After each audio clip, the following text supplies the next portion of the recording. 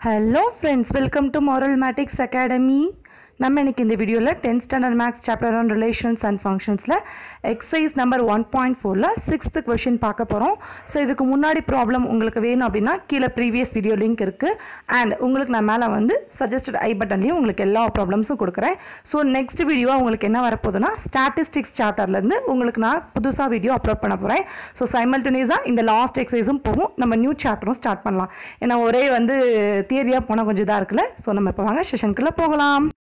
Point ஃபோர்ல sixth problem பார்க்க போகிறோம் let A equal to one two three four and B equal to N கொடுத்துட்டு let f from A to B be defined by f of x equal to x cube then find the range of f identify the type of function தமிழ்ல எழுதுனா எனக்கு இடம் பத்த மாட்டேங்குது போர்டில் நான் வாயில நான் எக்ஸ்பிளைன் பண்ணிடுறேன் ஓகேவா அதாவது லெட் அப்படிங்கும்போது ஏ ஆனது ஏ ஈக்குவல் டு ஒன்று ரெண்டு மூணு நாலு பி ஈக்குவல் டு என்னங்கிறது என்ன?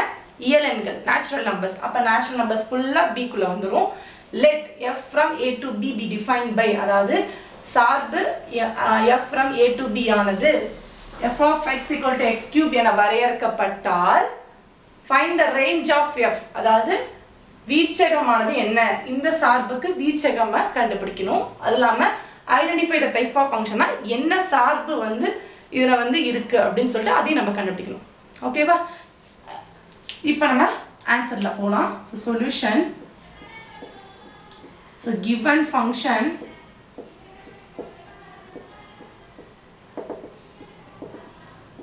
f from a to b இதில் ஏங்கிறது என்ன? ஒன் டூ த்ரீ ஃபோர் பிங்கிறது என்ன?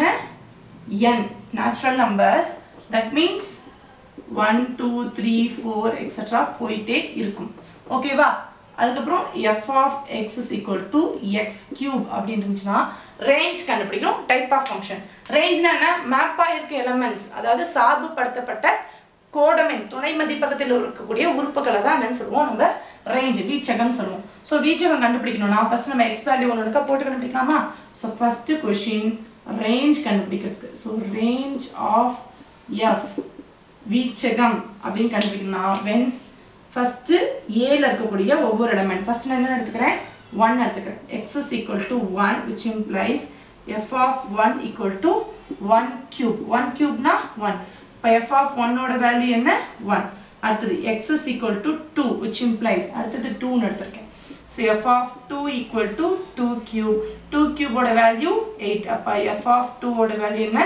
எயிட் அடுத்தது three x is equal to three which implies f of 3 ஓட value 3 cube 3 cube ஓட value 3 3s are 9 3s are 27 so f of 3 ஓட value என்ன 27 so x is equal to 4 அப்போ x is equal to 4 அப்படின்னு பார்த்தோம் அப்படின்னா f of 3 ஓட value 4 cube அப்போ 4 4 are 16 16 into 4 64 ஆ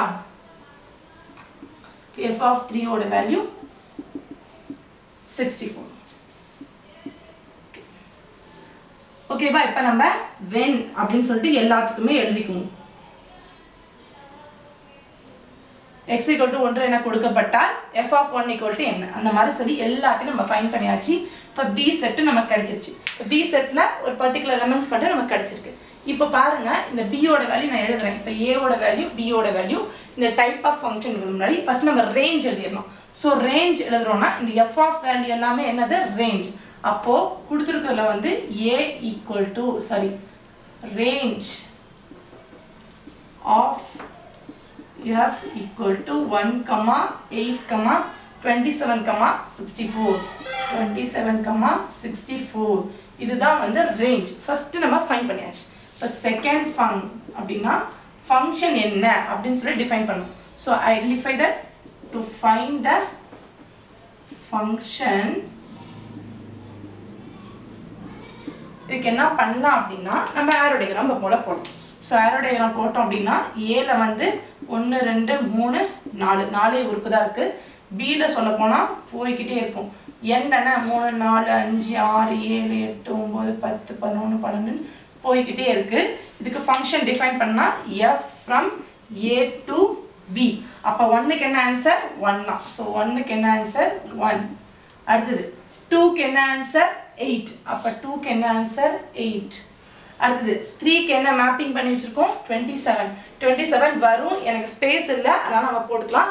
ஸோ த்ரீக்கும் வரும் ஃபோர்க்கும் வரும் இந்த மாதிரி பண்ணலாம். இல்லை நீங்கள் நான் போடுறேன் அப்படின்னா நீங்கள் வேணால் இருக்கிற எலமெண்ட்ஸ் மட்டும் டாட் டாட்டாக வச்சு போட்டுக்கலாம். அதாவது two three dot dot eight dot dot அடுத்தது twenty seven dot dot sixty four sixty five extra dot dot இப்படி போட்டோம்னா எல்லா எலமெண்ட்ஸும் மேப் பண்ணிடலாம். அப்போ டூக்கு வந்து எயிட் த்ரீக்கு வந்து டுவெண்ட்டி செவன் ஃபோருக்கு வந்து சிக்ஸ்டி ஃபோர் இந்த டாட் டாட்குள்ளே நிறைய எலமெண்ட்ஸ் இருக்குது ஸ்பேஸில் அதெல்லாம் இப்படி போட்டுருக்கோம். இப்போ பாருங்க நம்ம ஒன்று ஒன்றா பார்க்கலாம். ஃபஸ்ட்டு ஒன் ஒன் ஃபங்க்ஷன் பார்த்தோம். அடுத்தது என்ன பார்த்தோம்? மெனி ஒன் ஃபங்க்ஷன் அடுத்தது ஆன் டூ ஃபங்க்ஷன் அடுத்தது இன் டூ ஃபங்க்ஷன் அதுக்கப்புறம் ஸ்பெஷல் கேசஸ்லேயும் ஃபங்க்ஷன் பார்த்தோம்ல. என்னென்ன ஃபங்க்ஷன் பார்த்தோம்? கான்ஸ்டன்ட் ஃபங்க்ஷன் அடுத்தது identity function real value function so இது எல்லா ஃபங்க்ஷனும் நம்ம புக்கு படி நம்ம டெக்ஸ்ட் புக் படி நம்ம பார்த்தது. இப்போ ஒன்று ஒன்றா நம்ம அப்ளை பண்ணலாம். One one function one one ஃபங்க்ஷனாக நம்ம என்ன பண்ணுவோம்? Distinct elements of A have distinct images and B கரெக்டாக எஃப் ஆஃப் ஒன்னுக்கு one f of two f of டூக்கு எயிட் எஃப் ஆஃப் த்ரீக்கு டுவெண்ட்டி செவன் எஃப் ஆஃப் ஃபோருக்கு சிக்ஸ்டி ஃபோர் அப்படிங்கும்போது இந்த மாதிரி டிஃப்ரெண்ட்டாக நமக்கு கிடைக்குதா? ஸோ இந்த மாதிரி டிஃப்ரெண்ட்டாக கிடைக்கிறதுனால இது வந்து ஒன் ஒன் ஃபங்க்ஷன் அப்போ அந்த ரீசன் எழுதுங்க. Distinct elements of A have distinct images நிழல் உருக்கள் in B therefore it is என்ன ஃபங்க்ஷன் ஒன் ஒன் ஃபங்க்ஷன் ஒன்றுக்கொன்றான சார்பு.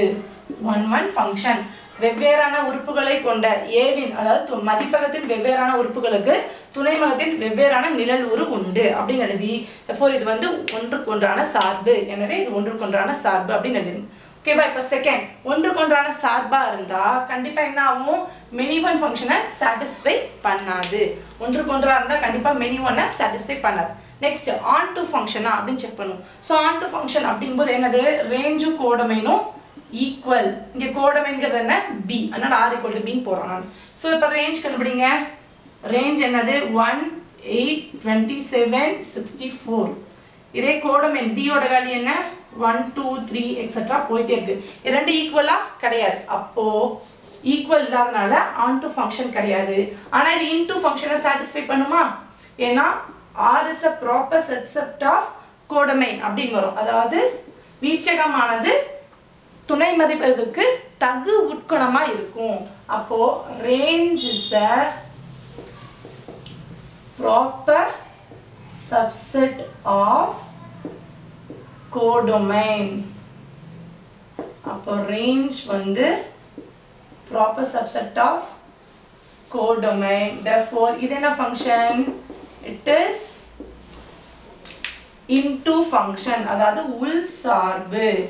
என்ன ஃபங்க்ஷன் உள் சார்பு. வீச்சகமானது துணை மதிப்பகத்தின் தகு உட்கணமாகும். அப்படிங்கும்போது நமக்கு இன்டு ஃபங்க்ஷன் சாட்டிஸ்ஃபை ஆகுது. ஆன் டு சாட்டிஸ்ஃபை ஆகுது. அப்போ இது வந்து இன்டு ஃபங்க்ஷன் நெக்ஸ்ட் கான்ஸ்டன்ட் ஃபங்க்ஷன்னா எல்லாமே ஒரே எலமெண்ட்டுக்கு வரும். அப்படி வந்திருக்கா? கிடையாது. அப்போ கான்ஸ்டன்ட்டும் கிடையாது. ஆன் டு கிடையாது. கான்ஸ்டன்ட் கிடையாது. இப்போ ஒன் ஒன்னும் இன்டூ மட்டும் தான் நமக்கு கிடைச்சிருக்கு. அடுத்தது ஐடென்டிட்டியும் பார்க்கும்போது one one two two three three அப்படி வந்திருக்கா? கிடையாது. அப்போ ஐடென்டிட்டியும் கிடையாது. ரியல் வேல்யூட் ஃபங்க்ஷன் இந்த ரியல் வேல்யூட் ஃபங்க்ஷன் நம்ம ஆல்ரெடி சொன்னோம். எல்லா ஃபங்க்ஷனுமே ரியல் வேல்யூட் ஃபங்க்ஷன் தான். இது வந்து என்னன்னா ரியல் வேல்யூன் போது ரேஞ்ச் வந்து அதோட சப்செட்டாக இருக்கணும் அதே கண்டிஷன் தான் நம்ம கொடுத்துருக்காங்க. கரெக்டா இதுக்கு எப்படி கொடுத்துருக்காங்க அப்படின்னா range of f is a proper subset of all real numbers so range of f is a subset of real numbers real நம்பரோட சப்செட் தானே ஒரு நேச்சுரல் நம்பருங்கிறது அப்போ இது வந்து real therefore it is real valued function ஓகேவா real valued function மெய் மதிப்பு சார்பு. அப்போ மூணு சார்பே இது வந்து சாட்டிஸ்ஃபை பண்ணுது. ஓகேவா ஸோ இதோட exact exercise number one point ஃபோரில் இருக்கக்கூடிய சிக்ஸ்த் ப்ராப்ளம் ஓவர் இந்த செஷனில் பார்த்த ப்ராப்ளம் வந்து உங்களுக்கு யூஸ்ஃபுல்லாக இருந்திருக்கும்னு நினைக்கிறேன். மேலும் நிறைய வீடியோஸ் இருக்குது நான் சொன்ன மாதிரி ஸ்டாட்டிஸ்டிக் சாப்டர் நெக்ஸ்ட் வந்துகிட்டே இருக்குது அப்கமிங் வீடியோவாக so gonna stay tuned on Modern Mathematics Academy and most probably subscribe பண்ணாதங்க. நம்ம சேனலை சப்ஸ்கிரைப் பண்ணிட்டு பாருங்கள் அண்ட் ரொம்ப ரொம்ப முக்கியமான விஷயமா நம்மளோட கூட்டம் எப்போவுமே ஃபாலோ பண்ணுங்கள் we learn maths by doing maths நம்ம இப்போ நெக்ஸ்ட் வீடியோவில் பார்க்கலாம். உங்களுக்கு இந்த வீடியோ பிடிச்சிருந்துச்சுன்னா லைக் பண்ணுங்கள் ஷேர் பண்ணுங்கள் நம்ம சேனலை சப்ஸ்கிரைப் பண்ணிக்கோங்க. ஸோ கீப் வாட்சிங் learn maths by doing maths thank you